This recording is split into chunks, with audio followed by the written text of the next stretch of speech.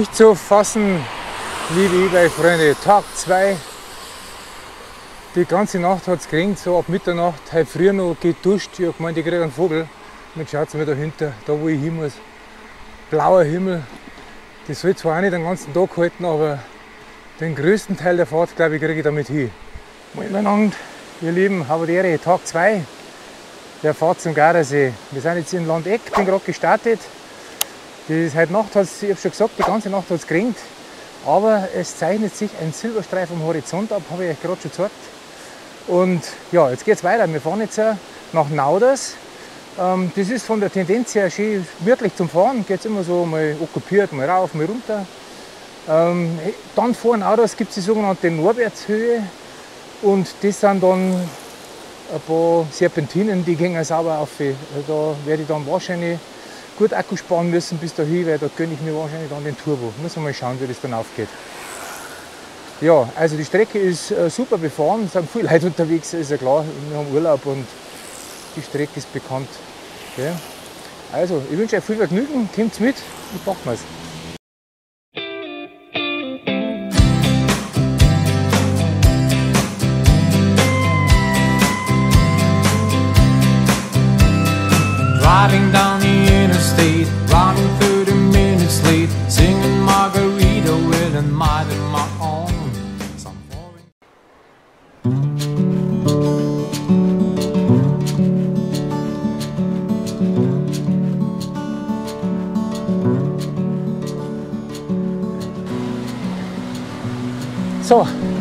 da geht es jetzt ein bisschen neben der Bundesstraße her, macht aber gar nichts, weil das dauert nicht so lang rechter Hand immer der Inn, traumhaft und vor mir immer wieder blaue Wolkenfetzen.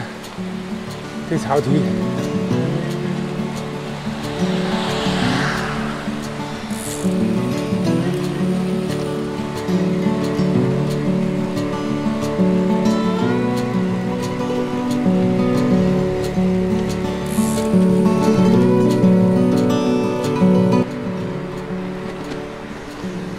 Alles immer bärig ausgeschildert. Also ich brauche überhaupt kein Navi, weil die, die Wege sind toll und überall ist wieder ein Schild, wo es lang geht. Also ohne weiteres für jeden machbar, sag's euch gleich. Da vorne seht ihr jetzt schon wieder der Straße, ein großes Symbol, das grüne Schüttel, rechts geht es nach Pfunds. Da kommt der Pfundskerl her.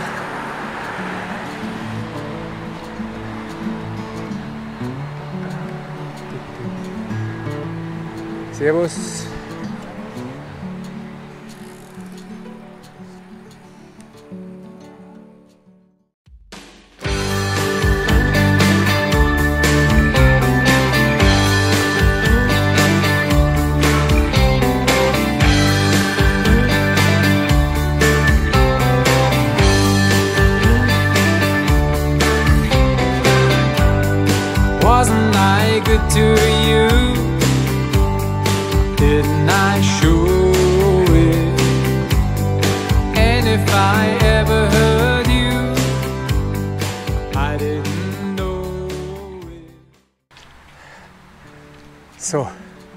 Das kennt jeder, das Motiv auf YouTube. 1 Million 17 Mal schon gefilmt, gepostet, was weiß ich.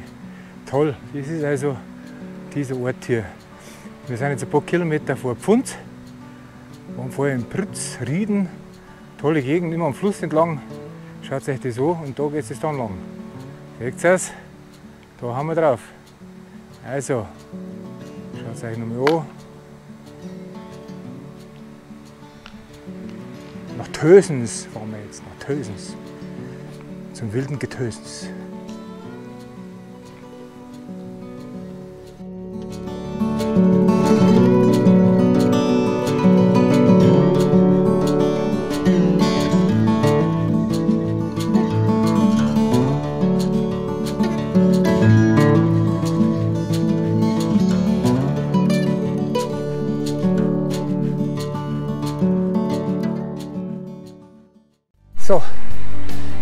Fahren jetzt durch Tösens. Das habt ihr vorhin schon gelesen, in der Schiene unter Führung. durch Tösens und bis Pfunds ist es nicht mehr allzu weit. Es ist kurz vor Mittag und natürlich, da werden wir mal schauen, ob es ein bisschen einen Kaffee oder was gibt. Man muss ja schließlich ernähren. Ja, schönes Urteil da, Pfund, äh, Pfund, nein, Tösens, Tösens. Wildes Getösens an Maria Himmelfahrt. Wir sind alle in der Kirche. Macht nichts. Irgendwie anders. Also, auf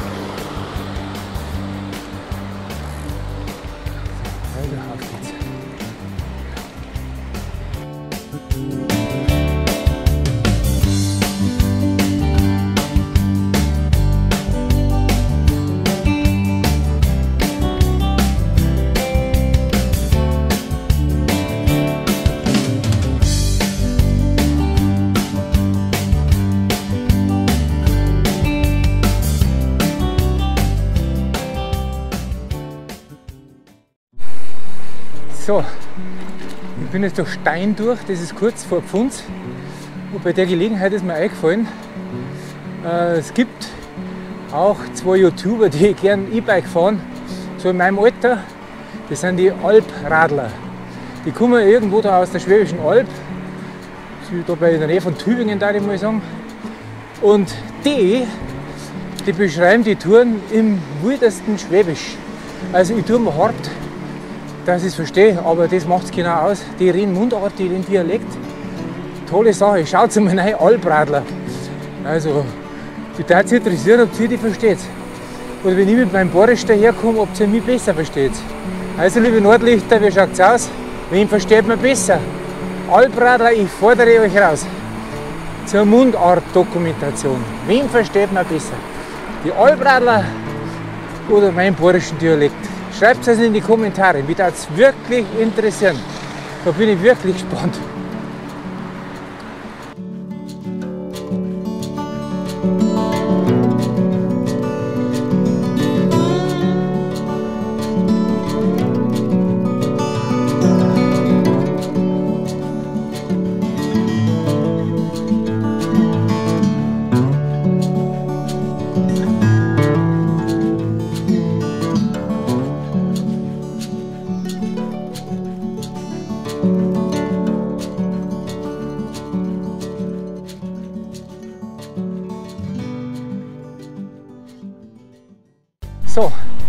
Circa eineinhalb Kilometer da kommt eine Bike-Service-Station mit Kaffee.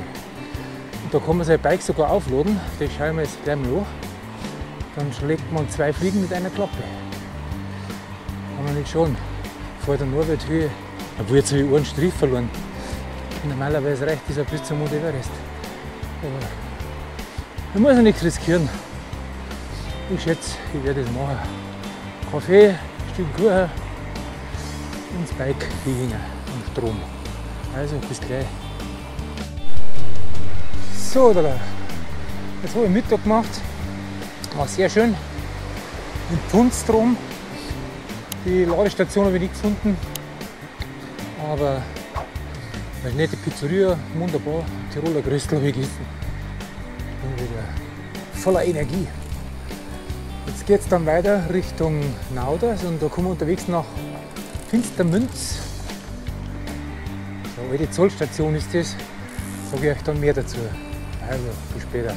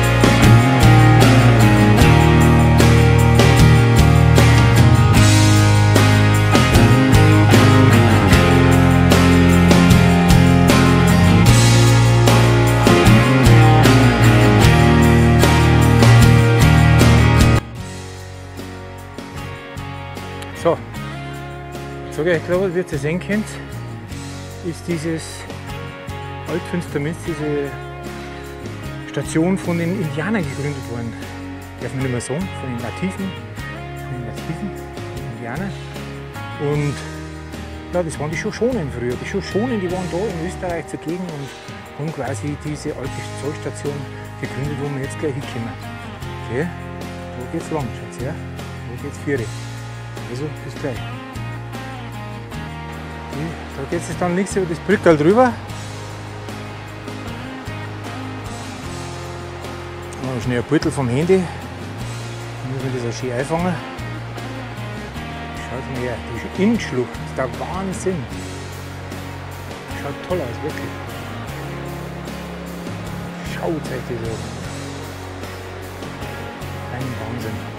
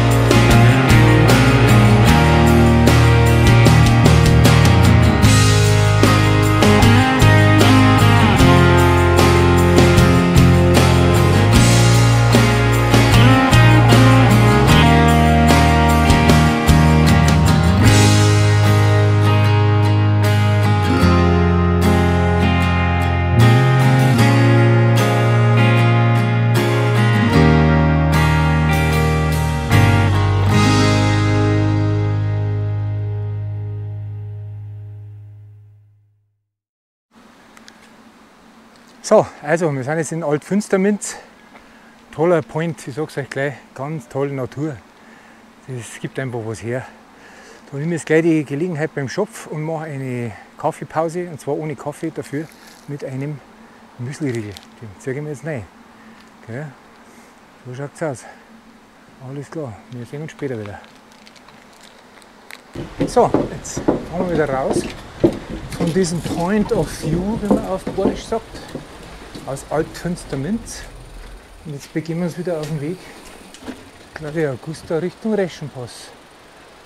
Ja, am Weg Frutz, Ried, Pfunds. Ah, wir müssen da rauf, glaube ich.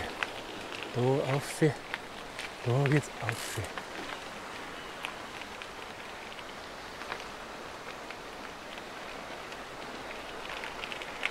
So, jetzt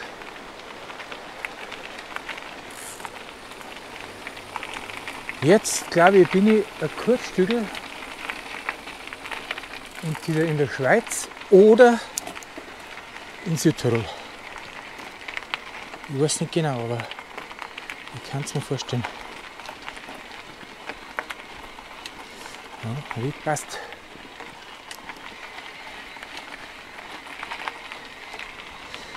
Das ist nicht mehr Österreich.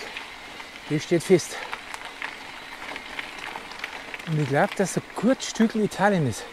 Bevor wir natürlich morgen dann am Reschensee, kurz vom Reschensee dann nach Italien einfahren und dann nur noch in Italien sind. Also, ich glaube, dass das die Schweiz ist. Schauen wir mal. Ich sag's euch dann. So, ganz anderer Weg in die Berg was für Mountainbiker. Aber mit einem normalen Tourrad kein Problem, ist nur kurz still. Aber ich sag's euch, das ist bis jetzt das steilste Stück, was ich gefahren bin auf der Tour. Aber super. Und jetzt bin ich in der Schweiz. Schauen wir mal, jetzt fahren wir Richtung Martina. Martina. Und da geht's dann Straße von der Norbertshöhe. Dann gute Nacht. Ja. Also in Italien kann das nicht drin sein. Schmarrn. Das war schon die Schweiz. Das gehört einfach dazu, zur Schweiz. Geil. Ich bin in der Samnauen-Gruppe unterwegs. Das kennt man vom zollfreien Einkaufen, kann man aufgefahren. Parfüm, Schnaps, tatsächlich ein Stück günstiger Also bei uns daheim. Aber aufpassen, das dürft ihr nicht mitnehmen, weil da wird es kontrolliert. Okay. Also, jetzt melde ich mich dann in Martina wieder. So, jetzt habe ich einen kurzen Akkuwechsel gemacht. Und weil es da so schön oben geht, fahre ich jetzt mal ohne Motor. Das ist schön ruhig. Kein Surren. Nur entspannt in die Pedale treten und hinunterrollen lassen. Ja, ich habe schon angesprochen, wir kommen jetzt dann nach Martina. Das ist dann quasi wieder die Grenze nach Österreich rein. Und dann stehen wir kurz vor der Norberthöhe. Das sind elf Serpentinen, da geht es dann ganz schön auf. Aber ich habe auch Akku gespart. Ich habe noch vier Strich drauf. Und ich sage euch, da gönne ich mir dann den Turbo. Volles Rohr. Vielleicht brauche ich es gar nicht, aber ich werde es probieren. Jetzt fängt das Schiffen an, ich glaube, mein Schwein pfeift. Kurz vorm Ziel, Mensch.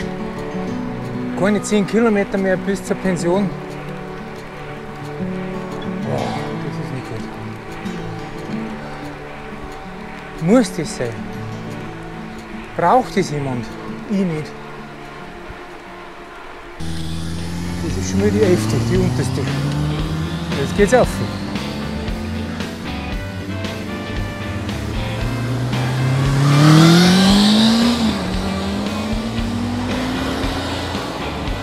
Da mit E-Mountainbike, das geht recht geschmeidig. Wird langsam, aber geschmeidig. Jetzt ist ja der zweite Strich. Fünf habe ich. Ich will meinen Turbo nicht rein. Ich kann meinen Turbo nicht.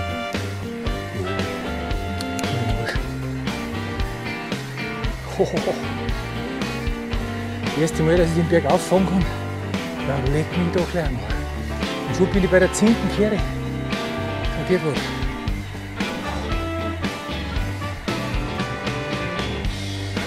Ja. Uni.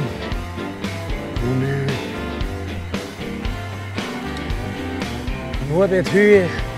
Du kannst mir nichts anhaben. So, da geht's da hin. Turbo mit 19, 19 km/h das hier auf. Ich bin jetzt bei 9. Gut, bis zum Ziel noch 5,7 Kilometer. Und die Reichweite, wenn ich im Turbo weiterfahre, sind noch 16. Das soll es hinausgehen. Wir werden sehen. Das ist schon motivierend, dass die Hälfte rum ist. Ich habe jetzt mittlerweile umgeschalten auf E-Mountainbike. Weil das im Turbo, der hat ja gleich runterzeit, leck mich. Danach stehe ich noch ohne Akku da. Und was.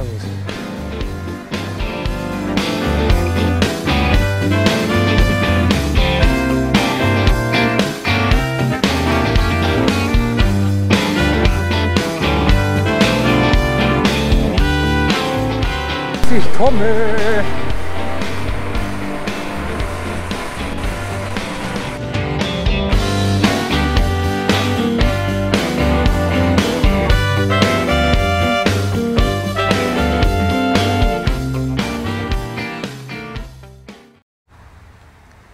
So Freunde, jetzt bin ich also angekommen in Nauders. Hinter mir seht ihr meine Pension, die Pension Tirol. Ich war schon auf dem Zimmer. Ganz toll, klar, aber schön. Ähm, ja, also gestern habe ich ganz vergessen, vor lauter Aufregung, dass ich die Abmoderation mache von dem ersten Tag. Das mache ich jetzt. Also die heutige Fahrt war wieder eine Schau. War ganz anders wie am ersten Tag. Äh, weniger Wald, weniger Feldwege, aber dafür mehr am Fluss entlang. Äh, toll, also das Pfunds war toll und dann dieses Altfünstermünz, also es hat wirklich Spaß gemacht. Äh, ja, also kein Tropfen abgerückt, ein bisschen Tröpfchen. Ansonsten war das eine angenehme Fahrt von den Temperaturen her, vom Wetter her. Jetzt treppt es wieder leicht, aber jetzt bin ich ja da. Also ich habe wirklich Glück gehabt, muss ich sagen, ich habe das Schlimmste befürchtet. Also, ähm, es war ein schöner Tag. Morgen geht es dann weiter mit der dritten Etappe, dann fahre ich den Reschenpass, da bin ich schon mal ein Stück gefahren. Und dann geht es nach Schlanders. Und da freue ich mich schon richtig drauf. Wenn es wieder wieder so hält wie heute, kann man sich nicht beschweren. Okay? Also macht es gut. Ah ja, was ich sagen muss, ich bin ja jetzt äh, das ist mein erstes Video bei YouTube. Ähm, Wenn es neugierig seid, wie es weitergeht, in der dritten Etappe, dann vielleicht, wie sagt man, einen Daumen hoch. Okay, Wenn es euch gefallen hat und vielleicht abonniert es auch, dann kriegt es gleich mit, wenn dann das die dritte Etappe und auch die folgenden Etappen bis zum Gardasee dann entsprechend auf YouTube veröffentlicht sind. Gell? So, ich bedanke mich fürs Zuschauen, macht es gut, bleibt gesund, Servus, habe die Ehre.